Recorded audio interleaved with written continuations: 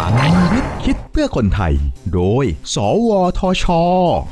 ตอนเท่าแก่น้อย เทคโนโลยีพัฒนาไอเดียสู่ธุรกิจทำเงินการสร้างธุรกิจเทคโนโลยีให้ประสบความสำเร็จไม่ใช่เรื่องง่ายเลยนะครับ ต้องอาศัยทั้งความคิดสร้างสรรค์ การพัฒนานวัตกรรม มีการตลาดที่ดีและมีแหล่งเงินทุน หากคุณเป็นคนหนึ่งที่มีไอเดียเด็ด ๆ และมีความมุ่งมั่น อยากจะต่อยอดสร้างธุรกิจเทคโนโลยี แต่ไม่รู้จะเริ่มต้นอย่างไรดี โครงการเท่าแก่น้อยเทคโนโลยีรอคุณอยู่ค่ะโค รงการเท่าแก่น้อยเทคโนโลยี เป็นความร่วมมือระหว่างศูนย์บ่มเพาะธุรกิจ สวทช กลุ่มบริษัทสามารถ และกรมส่งเสริมอุตสาหกรรม ในการสร้างนักคิดและนักพัฒนาเทคโนโลยีรุ่นใหม่ ที่นำผลงานมาต่อยอดเป็นธุรกิจทำเงิน ภายใต้แนวคิด ปั้นนักพัฒนารุ่นใหม่ให้เป็นนักธุรกิจเทคโนโลยีมือโปร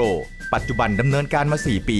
สร้างนักธุรกิจเทคโนโลยีรุ่นใหม่ได้มากกว่า 20 ราย สร้างรายได้มากกว่า 21 ล้านบาท สำหรับโครงการเท่าแก่น้อยเทคโนโลยี 2016 นี้ หัวข้อการประกวดจะเน้นเทคโนโลยีที่มีบทบาทต่อการพัฒนาประเทศสู่ความยั่งยืน 4 ด้าน คือ ด้านสุขภาพและผู้สูงอายุ ด้านการจัดการพลังงานและสิ่งแวดล้อม ด้านการพาณิชย์และการขนส่ง และด้านความปลอดภัย เปิดรับสมัครตั้งแต่เดือนมกราคมถึงมีนาคม 2559 สนใจดูรายละเอียดได้ที่เว็บไซต์ โดย TMC สวทช และกลุ่มบริษัทสามารถ พัฒนาคนด้วยวิทยาศาสตร์ พัฒนาชาติด้วยเทคโนโลยี สอบถามรายละเอียดเพิ่มเติมได้ที่ สวทช 02 564 8000